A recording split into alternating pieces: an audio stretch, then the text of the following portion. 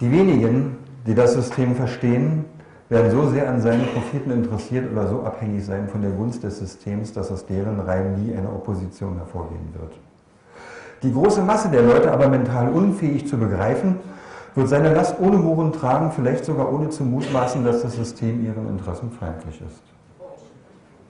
Sagte ein gewisser Rothschild. Kaufen Sie sich deren Wein, aber nicht deren Finanzprodukte. Da steht, diese Note ist ein legales Zahlungsmittel für alle privaten und öffentlichen Schulden. Steht da was von Geld? Wissen Sie, was Geld war? Bei den Amerikanern, die übrigens eine der besten Verfassungen der Welt haben. Jetzt müssten die Amerikaner die nur noch kennen und auch einhalten. Das wäre mal eine coole Nummer.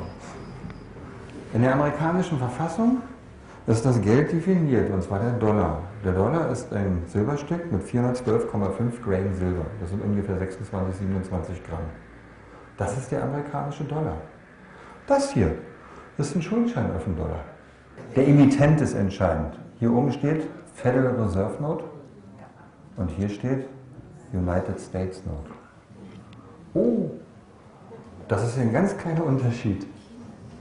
Wie kommt denn das? Wir sind seit 1913 im Federal Reserve System. Das sind die Brüder, und das ist keine öffentliche Einrichtung, sondern nämlich eine private Institution, die das Geld der Welt druckt. Ja, und die Deckung steht heute auf dem Dollar auf der Rückseite. Können Sie nachlesen. Wir vertrauen auf Gott.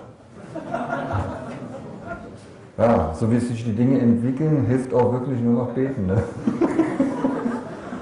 Widmen wir uns doch mal dem Euro.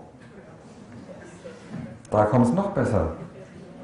Weil da steht ja gleich gar nichts mehr drauf. Nach den Kriterien der bürgerlichen politischen Ökonomie und zwar der liberalen, so Guido Westerwelle Definition, erfüllt dieser Schein nicht mehr die Kriterien einer Banknote. Note hat ja irgendwas mit Notar zu tun. Da muss es Urkunden darüber geben, eine Urnote, die dann in irgendeiner Weise vervielfältigt wird. Und wenn es ein gesetzliches Zahlungsmittel ist, muss ja auch irgendjemand dafür haften, für den Schein. Das macht hier keiner. Können Sie das erkennen? Auf der Rückseite sind irgendwelche imaginären Brückenkonstruktionen. Wohin führt der Weg da? Und wer ist der Emittent? Da stehen nur noch die Buchstaben. EZB, kann sonst was heißen. Und dann schauen Sie sich mal genau die Unterschrift an. Und hier ist noch eine Note. Das ist der Gulden. Und das, meine Damen, und das ist der Gulden. Und das ist die Unterschrift von Wim Düsenberg, die hier rein kopiert wurde.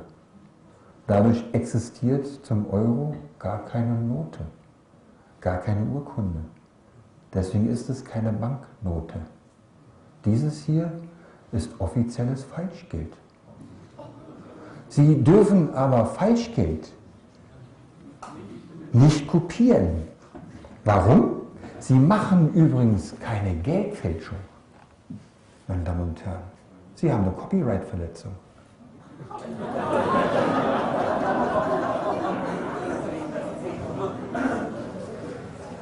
Meine Damen und Herren, das war jetzt kein Witz. Das ist unser Geld. Und es funktioniert nur, weil wir es alle akzeptieren. Das ist das ganze Geheimnis. Müssen. Das haben die uns oktroyiert.